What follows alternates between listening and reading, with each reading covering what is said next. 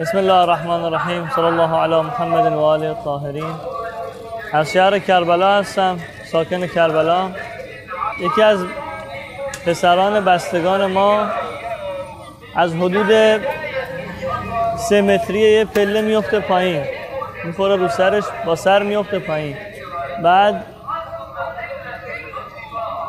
تقریبا تا دو سه چهار ساعت این پسر بیهوش بوده بعد که از هوش میاد به هوش میاد هی شروع به استفراغ می‌کنه. یکی از علامات ضربه مغزی استفراغه. خیلی خانوادهش نگران میشن خیلی نگران میشن. زنگ می‌زنن به این طرف اون طرف. به من زنگ می‌زنن. از من می‌خوان که بیام اینو برسونم به بیمارستان. تو همون راه بهشون گفتم متوسل بشید به آقا امام سجاد زین العابدین دیگه مریض کربلاست. کسی غیر از اون تو کربلا نبود. مریض بود. اینا بندگان خدا متوسل شدن. موقعی که بردن این بچه رو برای رادیوتراپی بیزیوتراپی کنن. عکس از سرش بگیرن. دکتره با اون حالتی که اون بچه رو دید می‌گفت که حتما ضربه مغزی شده. یک سری ورمی هم رو سرش بود اون موقع. ولی خب توی اون عکسی که گرفتن هیچ چیزی مشخص نشد. گفتن که هیچ چیزیش نیست اون بچه و به این من خیلی اعتقاد دارم که همون لحظه به هر یک از ائمه اهل بیت اگر متوسل شده بودیم حتما این بچه سالم میمون حالا اون موقع آقا امام زین العابدین به ذهن من رسید من به این گفتم.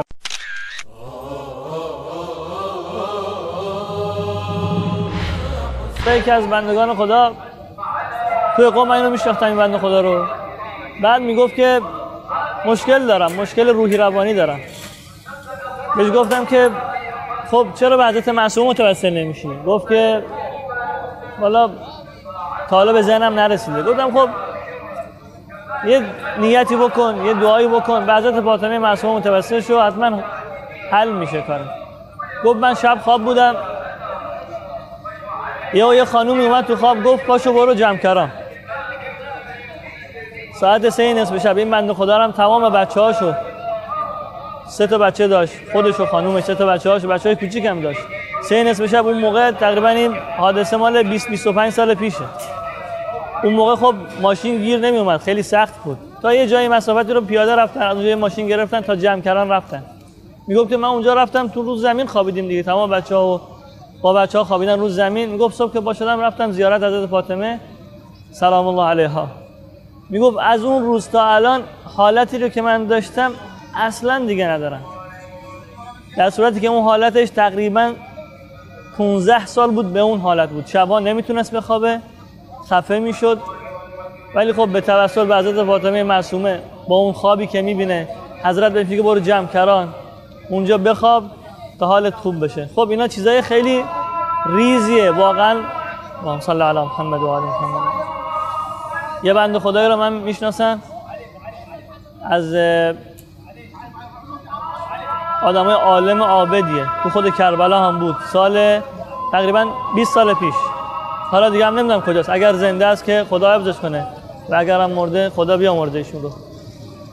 می‌گفت که یه بار بهش گفتم. گفتم خب آدم اگه مشکل داشته باشه می‌تونه متوسل بشه به آقا سید الشهدا گفت که ما چرا آخه به آقا سید الشهدا متوسل بشیم؟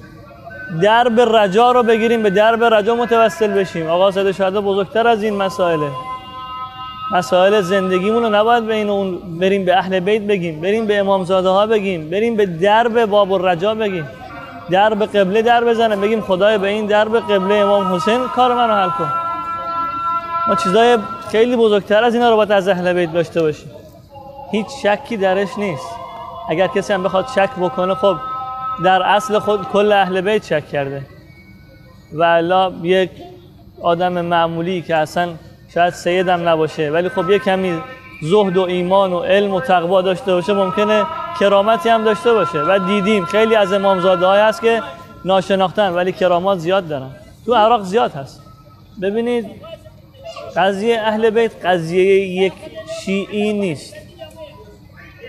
الان ما اگر بخوایم بیایم امام حسین رو تفسیر کنیم برای اینکه فقط برای شیعه زبانه یا برای شیعه هست این غلطه. امام برای همه ملت هست حالا یه موقع هست آقا وقتی به یکی میاد حاجتی رو میده احتمال داره مسلحت اون هست که حاجت رو بگیره الان. و از یکی که حاجت رو باز میداره احتمال این هست که یه حکمتی هست که این حاجت با این آقا برآورده نشه تا یه مدت زمانی. یه قصه هست خیلی هم معروف هست میگن یه بند خدای از عالمان نجف. زری حضرت امیر المومنین تقریبا 6 7 روز اونجا حاجت خودش رو می‌خواست بطلبه. می‌گفت که من نگاه کردم یه بند خدای آمد. از اعراب بادیه نشین هم بود. یه پسر بچه هم داشت. این پسر بچه معلول بود. می‌گفت پسر بچه رو انداخت دم زری با همون زبان عربی. گفت یا علی من این بچه رو میرم چای بخورم برمیگردم ازت می‌خوام. گفت من نگاه کردم ببینم قضیه چی میشه. قصه این بنده خدا کجا پیش میره؟ می‌گفت طولی نکشید. یه رو 20 دقیقه این بنده خدا برگشت. برگشت بچه‌ش هم سالم قشنگ برداشت برد. خیلی من ناراحت شدم. با خودم گفتم الان 6 7 روز اینجام. با اون همه مقامی که من فکر می‌کنم داشته باشم باید حاجت منو زودتر از این بنده خدا بده. شب خواب حضرت علی رو می‌بینه. بعد حضرت علی بهش میگه که ما هر کسی رو به اون اندازه ای که ما رو بشناسه بهش حاجتش رو میدیم. این بندگان خدا رو اگر ما حاجت رو بهشون ندیم امکان داره که ما رو ول کنن. از محبت ما دور بشن.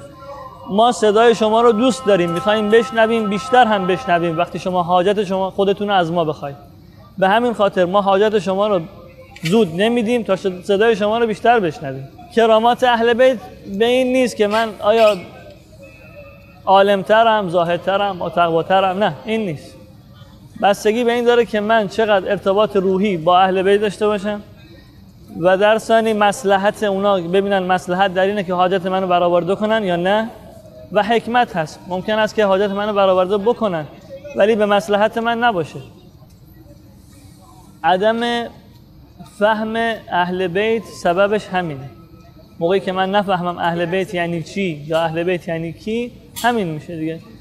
چون اهل بیت رو با بقیه مردم مقایسه کردن یعنی اهل بیت رو با بقیه مردم مقایسه کردن میشه که انکار کرامات و معاجز اهل بیت کلا. یا حسین.